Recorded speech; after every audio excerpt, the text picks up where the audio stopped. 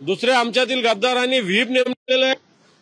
त्याच्यानंतर शिवसेनेच्या विधिमंडळ पक्षाने ऑलरेडी पक्षप्रमुख उद्धवजी ठाकरे साहेबांना पूर्ण अधिकार दिलेले आहेत. त्या अधिकारातून सगळ्यात आधी एकनाथ शिंदे यांना गटनेता केलं होतं. नंतर अजय चौधरी यांची गटनेता म्हणून नियुक्ती केली. ती सुद्धा सुप्रीम कोर्टाने वैध ठरवलेली आहे. सुनील प्रतोद सुनील प्रभू हे प्रतोद आहे. ही सुद्धा भूमिका सुप्रीम कोर्टाने वैध ठरवलेली आहे. आणि मग या सगळ्या गोष्टी वैध असताना मला असं निर्णय या सोळा आमदारांना शंभर टक्के लागू पाहिजे, लागू होईल. बाकी बघूया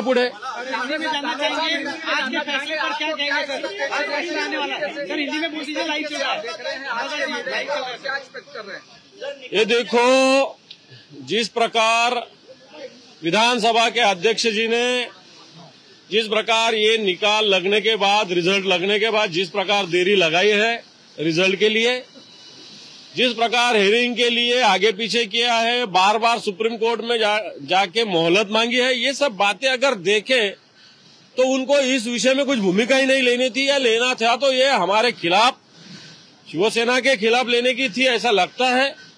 उसी प्रकार जिनके खिलाफ हेयरिंग हो रही है जिनके खिलाफ सुनावनी हो रही है उसके जो मुखिया है मुख्यमंत्री जी उनसे भी ये मुलाकातें कर रहे हैं।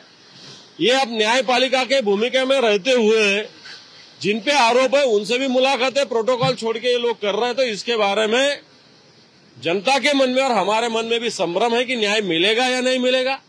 उसके बाद में आगे ये भूमिका है कि सुप्रीम कोर्ट ने ऑलरेडी इन्होंने जो प्रतोत इस अध्यक्ष ने नियुक्त किया है, वो इनलीगल कहा है। जो गट नेता इनका है, उनको इनलीगल कहा है। जो उद्धव जी ठाकरे साहब ने जो प्रतोत को चुना है, उनको लीगल कहा है। जो गट नेता कहा है उनको भी लीगल कहा है। फिर भूमिका क्या बाकी रहती है? शेड्यूल टेन में तो क्लियर क्लियर भूमिका है।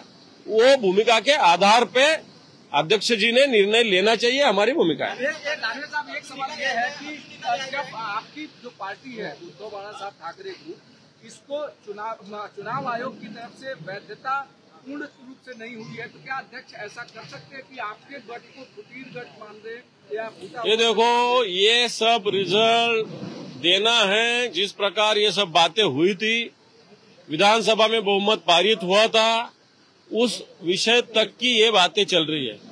बाद में क्या हुआ, इसका कुछ इशू इसमें नहीं है। बाद में जो है उसके बाद की अलग भूमिका है, उसके पहले की अलग भूमिका है। थैंक यू लोकशाही मराठी, ऐका, पहा, जागरूक रहा।